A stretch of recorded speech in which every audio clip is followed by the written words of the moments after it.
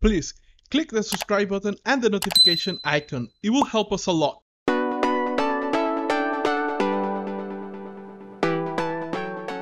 I guess figure out the format you want to do, like what type of art book do you want to do? Do you want to do a art book that is a specific theme? Or do you want to just do a book about sketches, like whether that's sketches from life that you've done, or um, sketches, just doodle sketches of characters? Yeah, it just kind of depends on on um, what you want to what you want to say about your book. You say, okay, I'm a character designer, so I'm gonna do a book of just characters that I've done, right? Then maybe I wouldn't include, excuse me, I wouldn't include like backgrounds because that's not your specialty. You know, unless you're a background artist, then everything you would probably in the center would be more backgrounds. Um, and then of course you want to decide on the format of it, right? If you want to do paperback or do a hardcover.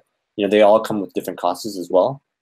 And um, and then yeah, and then see, you know, where your market is, you know, who do you want to um, gear this towards?